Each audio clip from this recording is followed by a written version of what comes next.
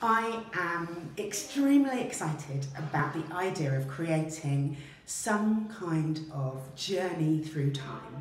So a tunnel or a portal where people feel like they are being moved throughout time. So uh, what I would like it to involve is, um, it could be any shape, but I want people to feel like they're going through something. The uh, tunnel, for want of a better word, will be created of different types of materials so that as people pass through it, they experience changes in light, changes in sound. I want it to have soundscape so that people hear different sounds. I'd like there to be hanging things. So uh, maybe some of the postcards that we've been talking about, um, people's stories, maybe photographs that people have taken. So what I'd really like to see is the big Shire Hall clock on the front running backwards or going very, very, very fast. And what's really exciting about it is whether you're outside in the woods or here in the Shire Hall, that everything everything connects. So you go to one thing and you take that to the next thing and go, oh yeah, that makes sense. Um, and you just keep being surprised, really. So I hope that's what it gives.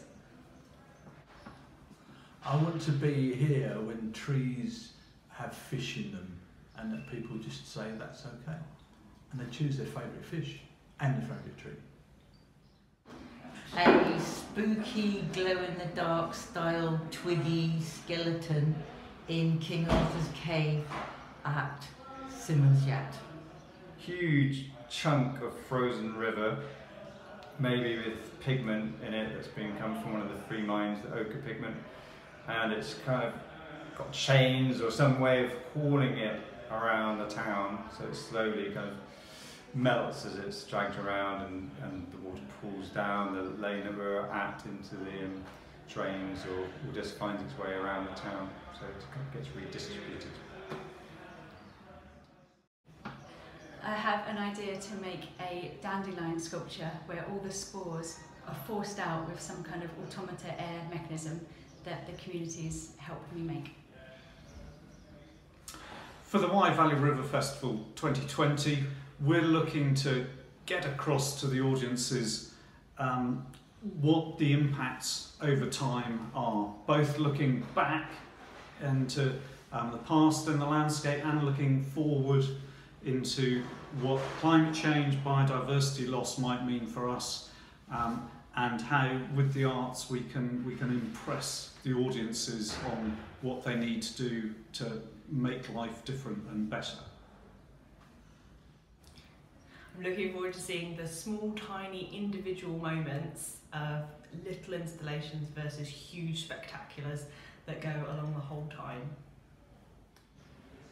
I'm looking for the festival to be really bold and exciting and use poetry and words in a really innovative way and for people to get excited about this place because the AONB, the, the, the Wye Valley River is just such a fantastic location and I think people should be more proud of where they live and I'm hoping that words presented in a, huge way can help enable that.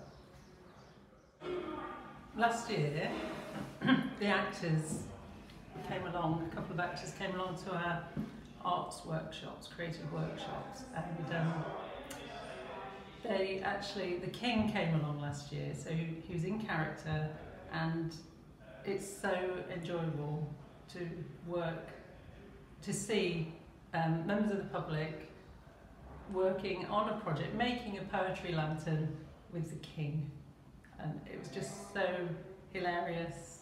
The children, the king actually worked with my son and his friend, and it, it was just a very, very enjoyable moment that that created really lovely memories that we'll probably talk about when my son's older. Uh, so I'd like to make a fantastic film where everyone says what they think would be brilliant at next year's festival.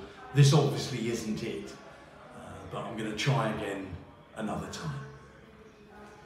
I would like uh, the feeling, the collective feeling of coming to the festival to be like a great big intake of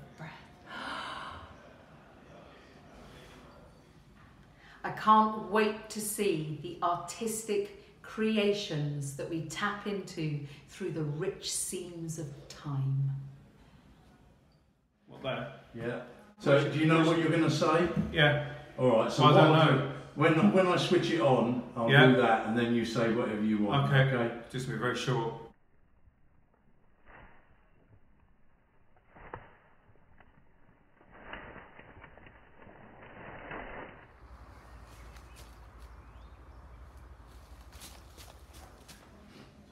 Send someone else up. Yes. Thank you.